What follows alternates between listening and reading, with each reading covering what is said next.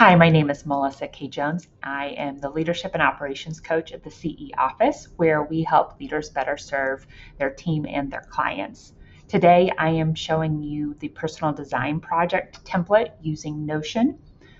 You might have seen a previous version of this on my YouTube channel at the CEOffice. I originally started using Notion when I moved between cities several years ago, and I used Notion to help plan the move and then to decorate my new home. So I'm sharing this new update with you the new update comes as Notion itself has added new features and as I've learned more about the different functionality of Notion. So I hope you enjoy this. The first thing that you can do here on this dashboard for planning your design project is list your street address. This holds all the information together and just to back up real quickly, this template was designed to support the renovation of your home office or making your home beautiful. So you can use this template as your dashboard for inspiration, staying in budget, and managing tasks. Moving in, you can have a list of all of your contractors here. So quick, easy access, it's organized. Your mood board here operates similar to a Pinterest board, but then you don't have to constantly go over to Pinterest. You have all the information together. And this is really helpful if you're planning someone else. So, for example, if you have someone that you've hired professionally, you can share this with them or certain pieces of the information here, or a significant other, so you're both on the same page. So, with the mood board here, you can organize it by room. And we can just look at this. This is just a real quick image that I uploaded, and then you can tag it. So if it is a finish, if it's a color, whatever the case may be. And on this overview, it's not going to go into all the details. I want to leave some of that a surprise for you when you duplicate the template for yourself, but I'm going to give you a lot of the overview.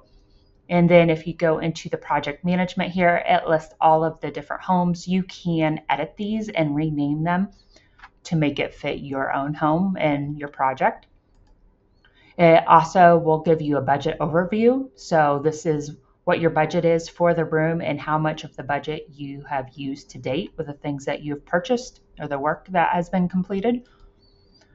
This shows you how many tasks have been completed of the decoration, renovation, and then this can show you the after pictures. So this just real quick sneak peek. This was my before picture for a room and then an after picture. And you can see as you're planning out each room, you want to know the colors, style, the textures, how you want the room to make you feel. It also will show you a link to the mood board. So you'll have all of those items there, as well as all of the items that you purchased under your budget how much you've spent, the percent of the budget, and the percent of the task.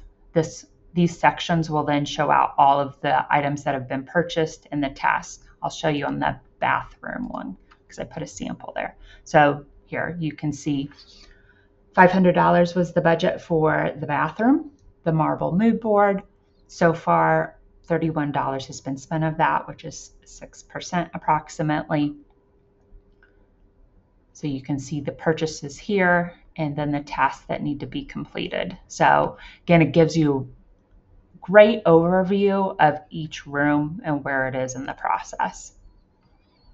Then if you go to the timeline here, if you're trying to make sure that you're staying on task, and one of the things that I've enjoyed about decorating my home is you don't have to get it done within a specific time frame that as you find things that are reflective of your lifestyle preferences and things that you enjoy. You can add them over time.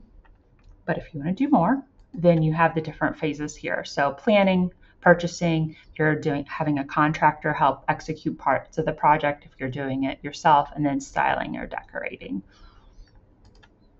And so this will list out each of the tasks. You will assign the room that it belongs to, what phase it's in. And then if there's an item that's associated with that task, you would link it in there, who's responsible for it, the goal completion. And then when you change the statuses here, it will automatically update the start and the same with the completed. And then you'll know which contractor has what tasks under them for that. And then the shopping list is your own database where again, the shopping list is sorted by shop. So you can again edit these and make them your own. You can have obviously add uh, Home Depot, whatever is local to your area or online that you're frequently purchasing from. And then that makes it a lot easier to just go in and check off the things and know which department to pull them from and how much you're going to spend. So even if that's like Crate and Barrel, West Elm, Restoration Hardware, whatever your preferences are. And then this just is a visual preview by room again of what you've purchased. So you can get an aesthetic view and then the list of all of the items. So what status it is, what room it is, the different tags, and so on. So it's pretty detailed, so it keeps you organized. So I look forward to your feedback. And if you have any questions, don't hesitate to send me a message. And I hope you enjoy.